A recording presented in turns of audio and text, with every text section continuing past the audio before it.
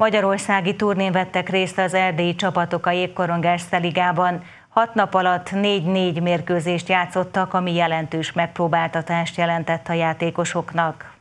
Hat nap alatt 4-4 mérkőzést játszottak Magyarországon a Jégkorong Erste Ligában szereplő erdélyi csapatok. Szilasi Zoltán, a Gyergyói Hoki Klub vezetőedzője híradónk megkeresésére elmondta, hogyan készülnek egy ilyen jelentős megterheléssel járó kiszállásra. Ugye kevés idő van készülni az ellenfélből, ugye a túra elején rögtön ugye back-to-back meccs van, tehát két nap két meccs, de, de azt gondolom, hogy ezeket jól kezeljük, ugye régóta csináljuk, de függetlenül ettől nyilván ezek nem egyszerű dolgok. Próbáljuk kihozni belőle a maximumot, úgyhogy ilyenkor is meccsről meccsre gondolkodunk, mindig a soron következő mérkőzésen van a fókusz. A Gyergyói Hoki Klub a turné első mérkőzésén 4-2-re kikapott az UT-től. A csapatnak azonban nem csak a vereséggel kellett számolnia, hanem a sérülésekkel is.